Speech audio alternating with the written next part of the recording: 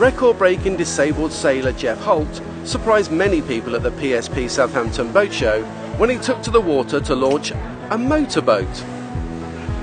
I've always had a little motorboat to potter around in, but the one thing I love is going fishing as well.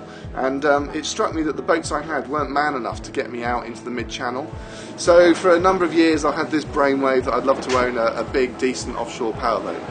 And, uh, and there's only one, you know, I did my research, but there's only one boat that's up to the job, and that was always going to be a Cheetah. With input from Geoff, the team at Cheetah have designed some unique features to assist him while he's driving the boat and manoeuvring in marinas. And I said, you know, the criteria are I want to come up to a pontoon and I want to get off that pontoon in my wheelchair. I don't want any special, you know, lifting devices. I want to just go straight onto the boat and I want to go straight under the steering wheel, up on a ramp, be locked in, and actually take control of this vessel myself.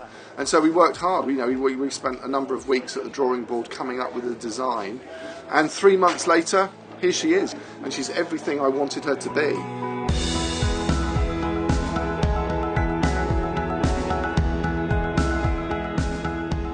We've put space on the deck for three other wheelchairs, and she'll take a total of 10 people out. So I can share the enjoyment, which is uh, going to give me great pleasure. Geoff is known for his need for speed, so will this new boat be used just for pleasure trips, or will he find another challenge? Who knows what will happen? I, I did. Someone did tell me there's the Round Britain Powerboat race next year. There's a huge number of hurdles to overcome if I'm going to do that. The first one is, am I physically capable of spending 10 days at sea, you know, doing 40 knots? Uh, that's the first hurdle to overcome. And then there's the, the legal aspect of, you know, it, will they allow a catamaran with a disabled person on board to do it? So we'll overcome those. If it's possible, you can guarantee I'll make it happen.